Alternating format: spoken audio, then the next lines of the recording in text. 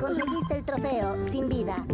Valió la pena. ¿Alguna vez te pusiste a pensar qué significa el JRPG? Normalmente uno puede pensar que la J es de japonés. No vaya a ser por J, pero con un mínimo de investigación puedes ver que casi nadie lo toma como un término regional, sino como un subgénero del RPG. Pero ¿a qué se debe? ¿Hay algo más que señalar aparte de dónde fue desarrollado? ¿Es por una filosofía de diseño? ¿Sus mecánicas? ¿Algún cambio de prioridades en sus apartados técnicos y narrativos? Bueno, como varios de mis amigos podrían confirmar, ya he molestado a bastantes personas con esta pregunta y han sido muy amables en ayudar a confundirme aún más. Así que, luego de incontables horas de investigación sobre el tema, probar los extremos del espectro, leer la Wikipedia y ver que algo estaba raro ese día, finalmente puedo concluir que no tengo idea de qué diablos es un JRPG. Pero ya tocaba nuevo video y cierta persona no me quería dejar hablar sobre la Biblia de Game Boy, así que aquí estamos. En su lugar, intentemos ver hasta dónde podemos estirar el consenso tradicional de JRPG y qué podemos aprender de eso.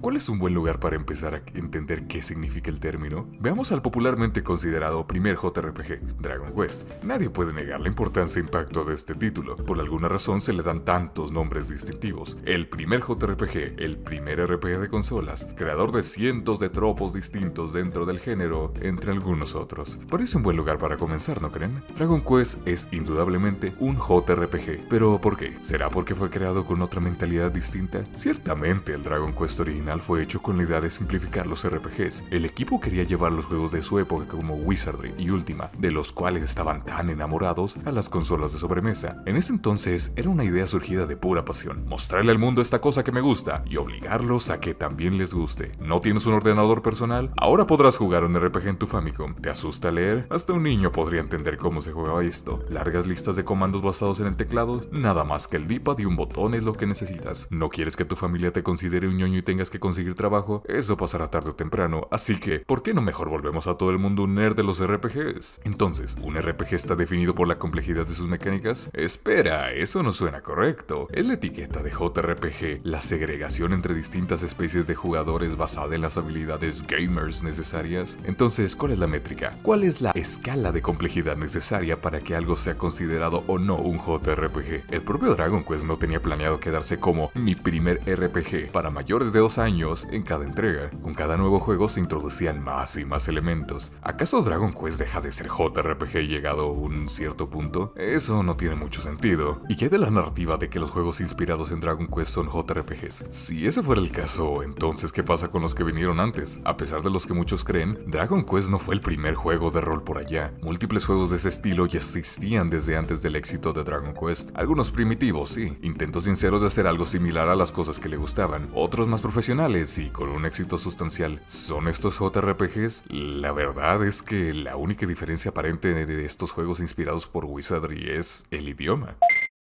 ¿Qué hay de la distinción de JRPGs como juegos de consola? Es otra postura que se ha mantenido. El término CRPG fue usado en el inicio para distinguir a los videojuegos de rol frente a los juegos de mesa. Es una etiqueta bastante simple y va directo al punto, pero después comenzó a ser usada para diferenciar estos juegos de los de consola. ¿Qué le pasa a un CRPG cuando es porteado una consola? ¿Se vuelve JRPG? Después de todo, uno de los desafíos de los creadores de Dragon Quest fue adaptar el género a un mando. Esos juegos con listas de comandos donde cada una de las teclas del teclado servían para una acción distinta, o las aventuras de texto donde manualmente escribías a la acción a realizar, intentando una y otra vez introducir el comando correcto, maldiciendo y preguntando por qué diablos no puedo recoger este papel del suelo. Es porque escribí el verbo incorrecto, ¿verdad? Eso era imposible de hacer en una Famicom, así que lo redujeron todo en una sencilla y corta lista de comandos. Tendría sentido creer que la diferencia radica en si estás jugando con un control o con mouse y teclado. A fin de cuentas, cuando RPGs de computador eran porteados a consolas, se cambiaba la interfaz y el manejo de menús por uno apto para su navegación con mando. Y claro, no sería justo hablar de juegos modernos que se juegan como un RPG de consola aún estando en PC. Probablemente sea una denominación que fue perfecta en su tiempo.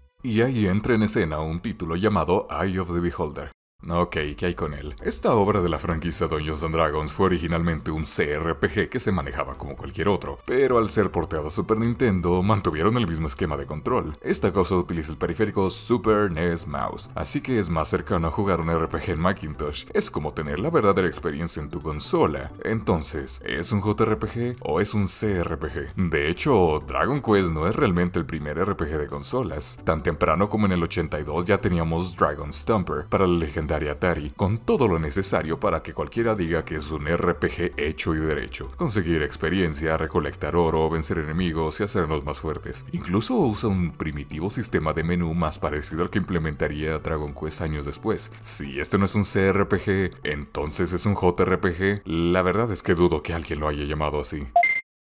Por supuesto, actualmente es más popular diferenciarlos por JRPG y WRPG. Hay diversos argumentos sobre qué los separa. Normalmente hacen énfasis en cosas como la diferencia de sus filosofías de diseño, pero como ya dije antes, Dragon Quest no salió de la nada. Sus creadores se basaron enteramente en Wizardry Ultima, los papis de todos los RPGs. Cosas como tramas lineales versus mundos abiertos, énfasis en el combate versus simulación, son completamente intercambiables al hablar de un RPG japonés o uno occidental. Pero ¿por qué complicarnos las cosas. Podríamos simplemente cerrar la boca y decir que el JRPG es un RPG hecho en Japón. Y listo, no importa lo que los demás digan. Final Fantasy fue desarrollado en Japón y es un JRPG. Wizardry fue desarrollado en Estados Unidos y es un WRPG. Tiene sentido.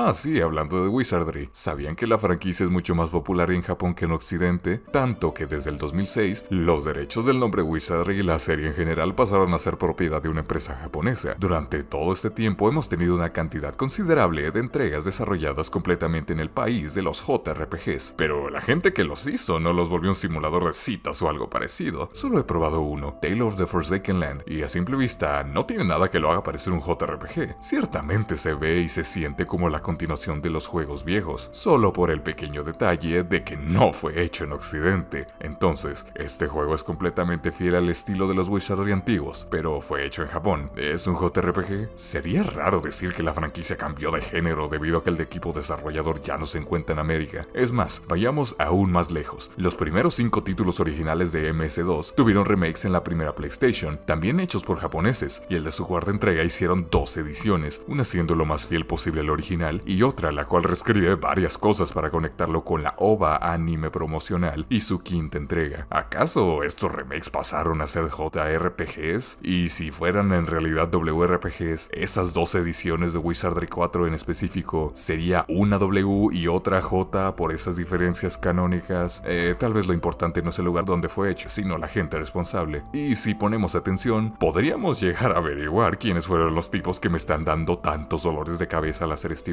Ah, miren, parece que Wizardry en algún momento fue responsabilidad de mi desarrollador americano favorito. Un dato aún más gracioso. Wizardry 8 no acredita a ninguna persona como director en sus propios créditos. Sabemos que los creadores originales ya no estaban involucrados en los juegos en ese momento, y D.W. Bradley, el hombre que se encargó de dirigir la franquicia a partir de la quinta entrega, se fue luego de Wizardry 7. Lo gracioso es que IMDB muy claramente pone a Koji Okada como director del juego, creador de clásicos occidentales como Shin Megami Tensei y otra desconocida franquicia llamada Persona. La verdad es probablemente solo un error. No tengo idea de dónde sacaron esta información o si es cierta, pero de ser así, ¿volvería Wizardry 8 un JRPG? ¿No ven que el género de este juego pende de un hilo? ¿Por qué no intentamos otra perspectiva? Al menos de lo que podemos estar seguros es de la estética. Claramente esos juegos que tienen monas chinas del diablo son JRPGs. Solo un tonto podría confundir Etrian Odyssey es un pequeño juego para la DS, un dungeon crawler que aprovecha al máximo la capacidad de la consola para dar una probada de los RPGs de la vieja escuela. Hmm, pero algo no está bien, todo es anime. Cierto, la estructura del juego, mapas, progresión, combate, etc. son un reflejo directo del primer Wizardry. Crea un grupo de aventureros con las clases disponibles, prepárate en la base y sal a explorar la mazmorra. El problema es que aquí todos son monos chinos, entonces es un JRPG. Y ya que hablamos del estilo artístico, los juegos de Ultima tienen bastantes dibujos que ayudan a enfatizar la atmósfera del juego. Entre ellos, las portadas muestran una clara ausencia de dibujos vietnamitas, así que al portear la tercera entrega a la Famicom en Japón, intentaron ser tan fieles como pudieron. Solo que si vemos la portada, eso no es muy occidental de su parte. Ahora está lleno de esos animes de los que todo el mundo habla. Sería fácil que alguien pudiera creer que este es un JRPG original de NES si se lo mostraras. No solo eso, hicieron una animación entera para ser usada en un comercial para televisión. Es extraño, solamente la estética de los personajes cambió y se le dieron nuevos sprites más acordes a las capacidades de la consola. Así que es ahora un JRPG. Vayamos aún más lejos. ¿Qué tal un juego que comparta ambos espectros? Stranger of Sword City es un RPG con una particularidad. El juego tiene la opción de cambiar entre dos estilos distintos para el arte de los personajes. Uno es más acorde a lo que la gente esperaría de un WRPG, mientras que el otro es más japonés. ¿Deberíamos llamarlo entonces la opción para cambiar de género? No solo eso, para los personajes que puedes tener en tu party tienes la elección de distintos estilos artísticos, así que en teoría podrías terminar con una partida que se viese más o menos así. Entonces, ¿es esto un JRPG? Eh, bien podríamos llamarlo un WJRPG. Oh, espera, que también salió en PC. Eh, deberíamos llamarlo mejor un CWJRPG. ¿Cuántas letras del abecedario necesitamos ponerle?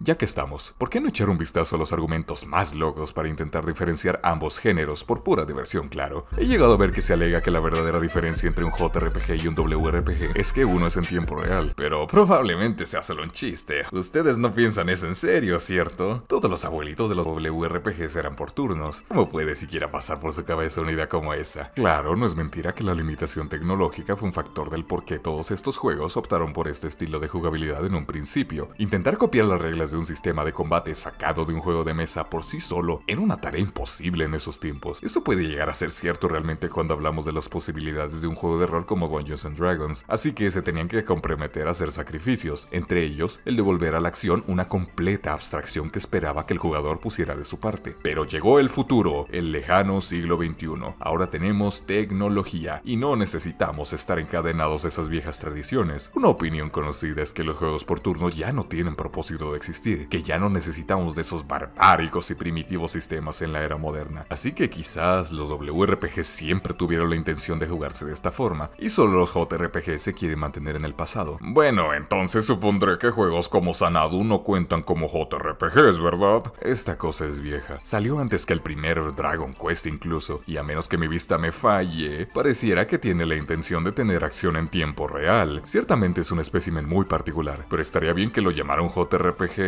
por supuesto que la tecnología aún era primitiva en esa época, y no hay comparación con otros juegos que indudablemente son WRPGs. Pero es que esto tampoco es una instancia aislada. Existe toda una historia sobre los RPGs de acción en Japón, pero esto no me está resolviendo mis dudas, y solo acabo de recordar otra. ¿Cómo se supone que clasifique algo como Baldur's Gate? Este juego tiene lo que la gente le gusta llamar combate de pausa activa, donde puedes jugar simplemente como un juego por turno regular, o puedes hacer que todo sea en tiempo real. A veces. Básicamente mientras tus personajes realizan sus acciones, puedes pausar la experiencia en cualquier momento para volverlo un juego por turnos, o hasta puedes hacer una combinación rara entre ambos, pausando solo cuando quieras cambiar un poco la estrategia o las acciones de tu personaje. Entonces, ¿qué diablos es esto? ¿Un semi-WRPG o es un JRPG que a veces es WRPG? Tampoco es que en su época hubiese sido el único caso, pero incluso hoy en día hay juegos que siguen usando este mismo estilo. Es gracioso ver las docenas de distintos términos que se le pegan a muchos RPGs, casi me vuela la cabeza cuando escuché el término Shooter RPG o FPS RPG. Claro, entonces si juego Fallout con una build física y no dispara una sola bala, cambiará de género otra vez, ¿o no? Ya ni hablar de cambiar la perspectiva. Estamos viendo al primer TPS RPG de la historia, mis amigos.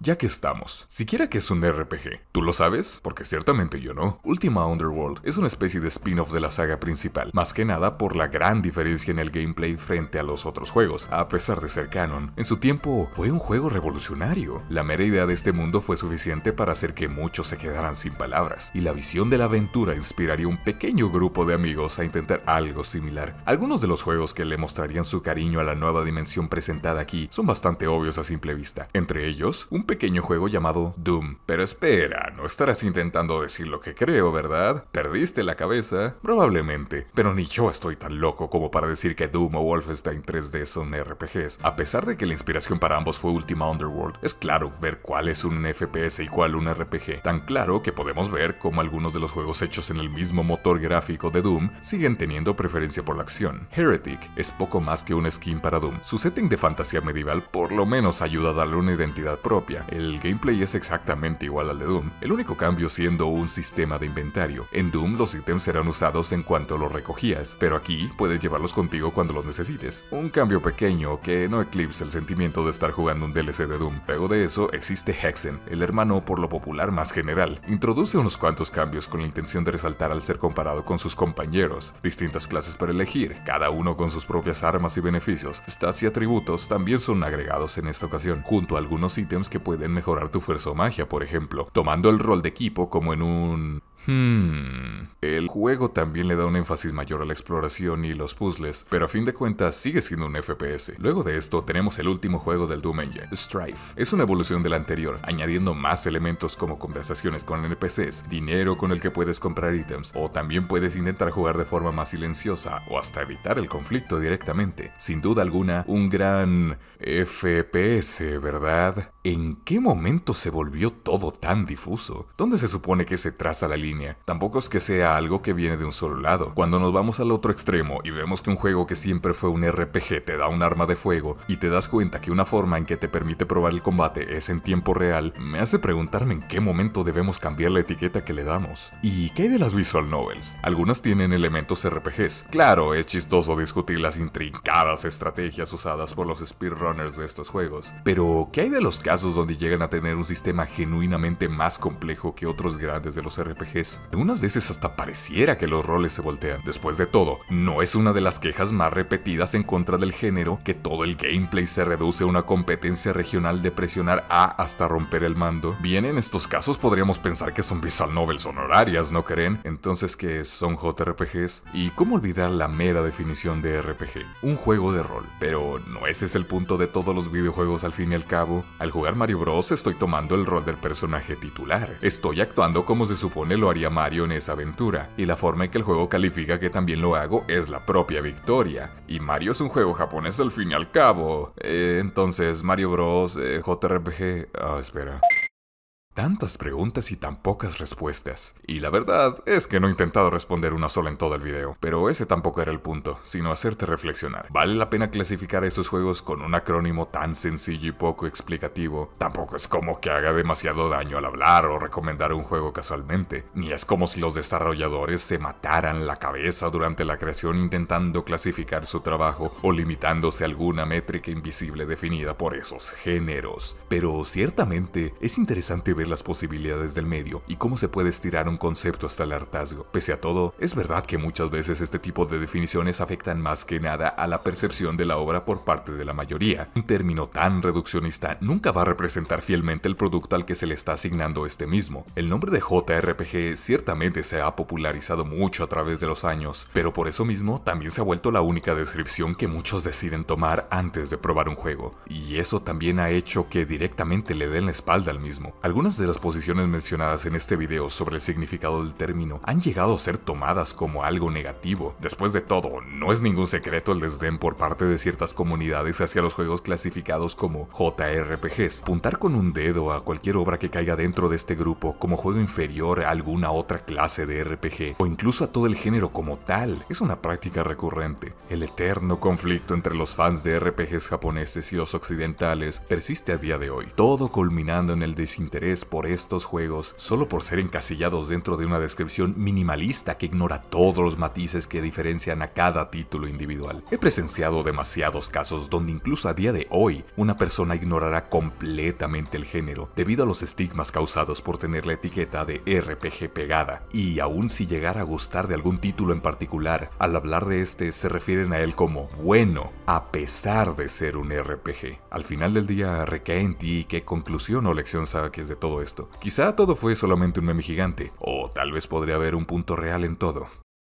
Eh, pero señor Mesita Anacrónica, todavía no entendí. Creo que te se te olvidó hablar de ciertas cositas para hablar de los role-playing games. ¿No consideraste los Souls-like? Sé que no tienen RPG en el nombre, pero hay veces que Absolution me pega este pe... Oye, espera, ¿por qué ahora está el Devil May Cry 2 de fondo? ¿Acaso estoy viendo los miembros del canal en una esquina? Eh, o sea que el video ya va a terminar. No me digas que solo acabo de perder todo mi tiempo viendo esto. Así es.